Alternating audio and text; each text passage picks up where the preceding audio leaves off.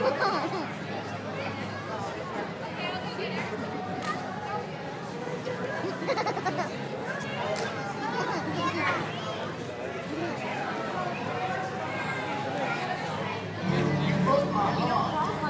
I couldn't dance. And you didn't even want me now. And now I'm back to let you know I can really shake it down.